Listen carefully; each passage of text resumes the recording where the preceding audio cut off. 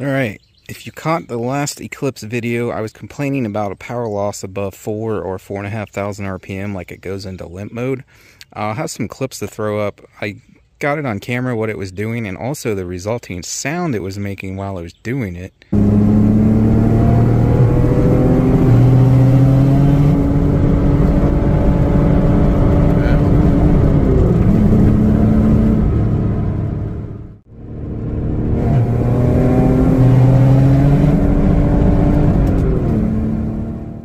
Um, but I, I'm pretty sure I just found what it was. I was suspecting this anyways. If you guys have been watching many of the Eclipse videos uh, more than once, I pointed out this broken, uh, broken sway bar link here.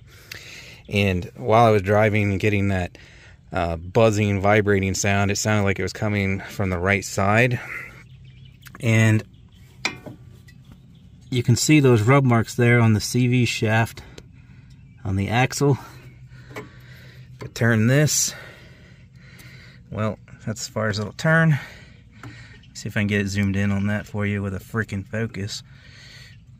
You can see where it's, uh, come on. Anyway, it's been rubbing on the edge there. You can see some shining material there where it's been rubbing. And also, got lucky here, real lucky honestly, that it chewed away some of this rubber here Thankfully, it did not bust the clamp, and it has not rubbed a hole through the boot. I mean, this thing's just been flopping around here. It could have absolutely been rubbing a hole through this boot. Thankfully, it was just up here running on rubbing on this. So what I have been suspecting is that vibration is causing the knock sensor to pick up a false knock because it vibrates the whole front end of the car. Um, so I'm still not 100% sure that's the issue, but man, I really hope it is because obviously that thing's been rubbing. It's weird that it only does it at certain RPMs though, so maybe it's rubbing the whole time and then only at a certain RPM does it start to make that vibration, which causes it to pull timing because it thinks it's picking up knock. I don't know, but I'm gonna yank this thing off of here, go run the crap out of it, and see if it stops doing it. Because, I mean, other than that, there's got to be something loose, vibrating, buzzing somewhere that's causing this thing to pull uh, pull timing because it's it thinks it's picking up engine knock from that vibration. It's like buzzing. I can feel it in the floor under my foot. So there's no real doubt in my mind that that's why I'm getting that power loss because the knock sensor is picking it up and think it thinks that the engine is knocking. So it pulls timing to try to save it. I do still have a up and down rough idle, but it quit stalling out on me on the intersection, so that's good um, I've noticed I've been messing around with the uh, mass airflow sensor and the air box under here. Um, a hunch led me to this because I've noticed that, well, first of all, I tried to clean this and this has a insert here. Karman Vortex sensor. And apparently you cannot clean those with the mass airflow sensor spray. So I bought the can of spray to try to clean my mass airflow sensor. Thankfully I read the warnings on the back said do not use on such and such uh, type sensor, which this freaking has. Uh, but I remembered that ever since I brought this thing home, anytime I shut the hood on it with it running, the car like almost stalls out and then and then like kicks back up on its own. Um, so if I and you're not supposed to hit these, but if I hit it about like that, just right, um, nine times out of ten, it would cause the car to kind of like stall down and fire back up. So that explains why every time I shut my hood, it's doing that. So um, it could be my mass airflow sensor, which is technically, I guess, not a mass airflow sensor. It's a Karman Vortex sensor. So that might be going bad on me. Um, so no telling if that is what's causing my uh, idle issue, if that's what was causing my stalling out and intersection issues that I don't currently have anymore. Or if in like one of my previous videos I posted, if it's that um, evap leak that I apparently have according to the code reader. Anyways, let me get this sway bar link uh, arm thingy off of here. so it's not rubbing on the CV shaft anymore and we'll go run the go run the piss out of her and see if that solves my power loss issue above 4500 RPM. Well, that was fun. So you have to use this little five mil here, hex or Allen or whatever you call that, if this damn thing would focus sticker in that shaft there because this spins it's a ball and socket just like a, a ball joint and then your nut there you got to hold in place with 14 millimeter while you turn the shaft well, because I use this, um, to the right, clockwise. Turn that clockwise and then you hold that in place and that's how you get her off. And an impact like I used in some PB Blaster there. Wow, this will not focus. Shit pisses me off. Impact gun and PB Blaster is going to be your best friend on that, but that's how you do it. Well, I forgot to record, but I just did my very first pull and it did it again, but I have another idea and you're gonna think this is crazy, but wait till you see this. Probably won't work, but... Well, you should be able to hear the idle I was talking about. Ow, kick the brick. A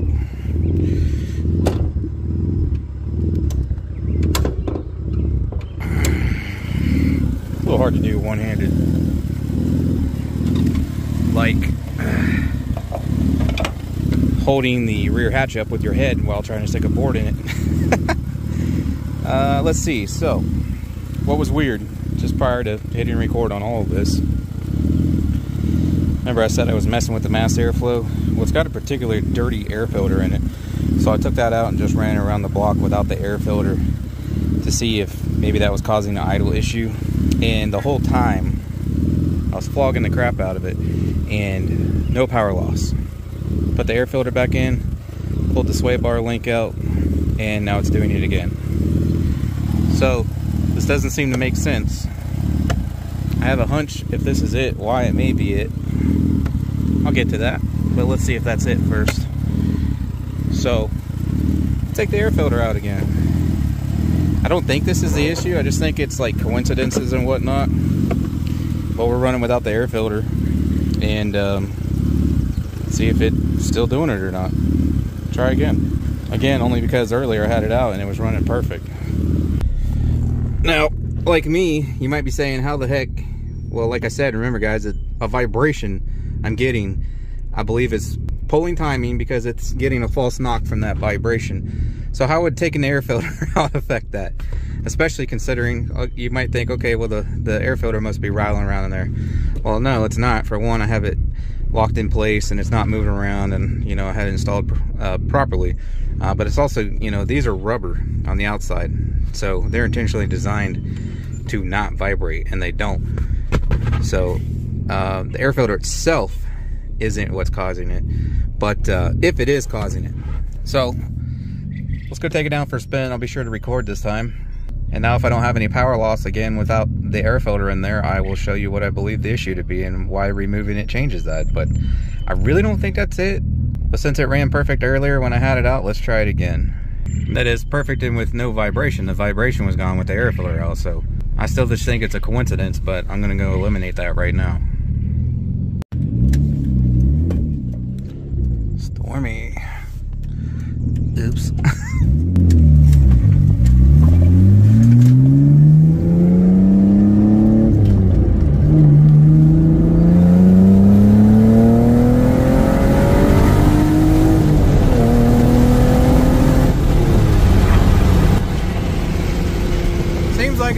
again. Well, so that first pull, it ran perfect, no vibration, therefore no power loss. Tried a few more times. Kind of wanted to see that too. It's like pouring over there.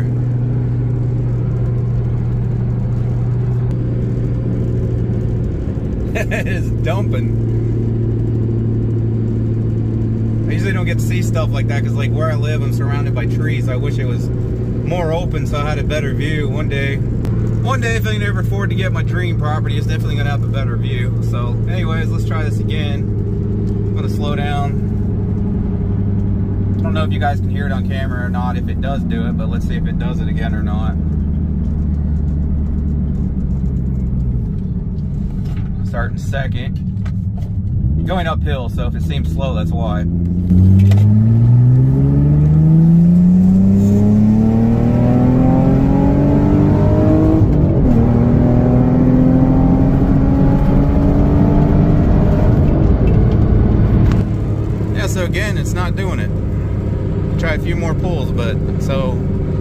seems to be the issue is having the air filter installed, which I'll show you why that's causing it if it is.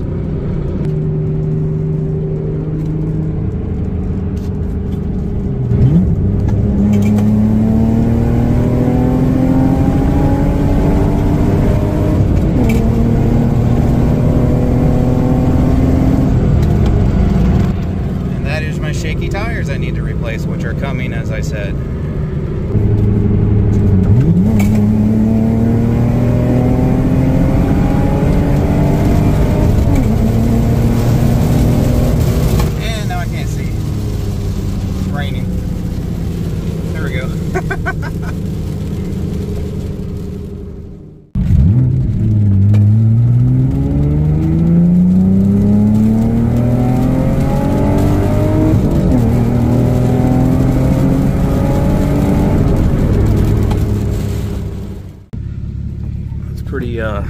Crazy looking actually, like the sun's out back there. And then you got this storm front here. It's pretty cool.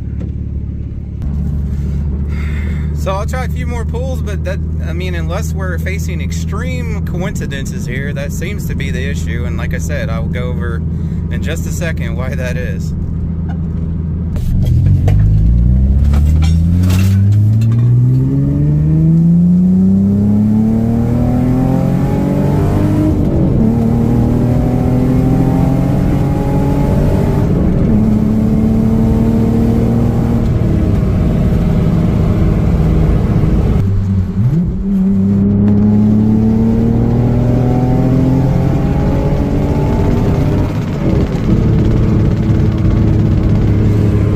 Tires! All right, so let me show you what I think's going on. And it doesn't really make sense, but it kind of it does at the same time. All right, you ready for this? Airbox isn't bolted down. Now, I don't know how the heck that thing could vibrate so much that I can feel it in the floor, hear it, and it causes the car to pull knock, or excuse me, pull timing because it thinks it's knocking. Uh, the other possibility could be the sensor in there is just rattling the crap out of its brains, and so it's causing all kinds of messed up readings to go through. That would make sense too. So now I will um, accept responsibility for this. I took the bolts out of there. One of the numerous times I tore this thing down because um, I left a bunch of stuff loose intentionally because you know possibility of having to tear it back down. I don't put things in that I don't have to yet until absolute last moment in case I have to tear it back down, which I had to do like three times on this car due to the BS I was dealing with. Again, if you didn't catch any of that, go get yourself caught up, but it was not fun. And part of that was um, brand new part failure. One of the reasons I had to tear it back down again. So, anyways, that's the only thing I can come up with right now. If it's not this, it's got to be something else. It's crazy that I can feel it through the floor, hear it, and like I said, but so I'll get the bolts back in here, not just one. I'll get this thing bolted back down to where it's impossible for it to rattle around like that. And then if it doesn't do it anymore, then I know that that was it, which it really seems like it is now. Because like I said, both times I had the air filter out, it ran perfect all the way to redline. So unless it's one hell of a huge coincidence, then that's definitely what's causing it. Um, and it's crazy and dumb luck. I'm so glad if that is in the end it. So glad I I found that, and it was by dumb luck again because I was just you know trying to work on my idle and okay well maybe if the air filter is super nasty maybe that'll affect idle you know and then you can clean the mass airflow sensors and so messing around with that is the only reason I pulled that air filter out of there had it not been for that I would have never discovered this I would have drove myself crazy looking at everything trying to figure out what the hell's rattling would have never figured it out probably and now the reason having the air filter out makes a difference because it doesn't matter. It, obviously, taking the air filter out doesn't change whether it's bolted down or not. But I think the added weight of the air filter is just enough. I, I'm guessing to where it pushes down on this enough to where it vibrates on the frame, or you know, having that rubber in, in there and the extra weight, it's changing the resonance of it or whatever in a manner that it allows it to vibrate like that. So that's that's the only thing I can think. But it's really weird that both times I took it out and then it runs fine and it doesn't vibrate anymore. So as weird as that sounds, it, it seems to be the issue. Well, I spoke too soon. So I've been driving around for a few days without the air filter in um, on accident because I keep forgetting to put it back in. But it has been 100% flawless without that air filter in. I just put it back in. Um, I got this all bolted down now. There's not a single bolt missing. And it's still doing it. It's not doing it as bad, but it's still doing it. As soon as I throw that air filter back in, even though I bolted the box down. Um, the only other thing, well, there's two things, like three things, I guess. either air is escaping or getting in somewhere. Like maybe the, it's not, I mean, it, that rubber's still soft. It is cracked. So I don't know if it's like sucking some air in through the side and it's causing it to make like that sound, I guess. Um, I don't see any cracks or anything, but there could be a crack somewhere. Maybe I'm not seeing where it's just sucking in through a little tiny crack and it's causing like that vibration and noise and whatever that then causes it to pull timing because it thinks it's knocking or unless it's just vibrating the crap out of the mass airflow there. I know I'm sealed up up there. I've already checked that multiple times. Um, well, not to mention up there, I don't think it would have a difference whether or not the air filter's in there. I mean, it could because the air filter creates some restriction. So if there is a hole somewhere, maybe with that restriction in there is why it's causing it to like, if there's a tiny crack somewhere we can't see, it could be causing it to suck in with the air filter, but not with the air filter out. Other than that, I'm going to put these pins back in here. I need to get those little plastic clips. I don't think this thing's rattling around. I mean, when you close the hood, the hood pins it down, but I'm going to try that. Um, so the only other thing left really is, like I said, the air filter is pretty nasty. It's a K&N, which I don't think you're supposed to use on this because of that type of sensor, because K&Ns have oil. If you get anything on that, it's done. um, but it is like super nasty, so that's the only thing I can think. Either the the weight of adding that is, you know, initially I thought it was creating vibration, just the difference in the weight. This is the only thing that's left like I said, I'm going to pin that down. But so other than that, the only thing could be change into a new air filter. But I'd hate to spend 60, 70 bucks on another K&N for it to not work. So I'm, I think I'm at the point to where I'm just going to put like a open element filter on the end here, you know, like cold air intake or something like that. I might try like a cheapy 10 or $15 Fram. Um, just to see if having a fresh clean filter in it solves the problem at least then i'll know and then also you know for the time being i can just drive around with a $10 filter in there if it's going to fix the problem but i did it well I got a new air filter in it got some buttons in there and no more issues so one of those things was it. Anyways thanks for watching guys and i'll catch you on the next one